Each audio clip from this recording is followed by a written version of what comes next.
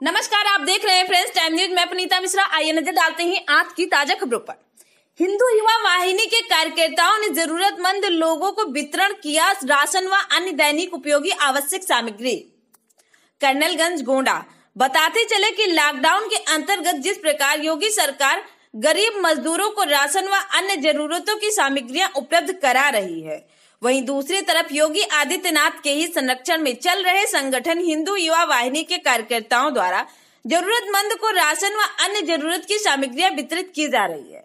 बुधवार को हिंदू युवा वाहिनी कर्नलगंज ब्लॉक के वरिष्ठ उपाध्यक्ष धर्मेंद्र तिवारी की अध्यक्षता में ग्राम पंचायत बसेरिया में जरूरतमंद लोगों को राशन वितरित किया, जिसमें मुख्य अतिथि हिंदू युवा वाहिनी जिला उपाध्यक्ष हरिओम ओझा भी शामिल रहे।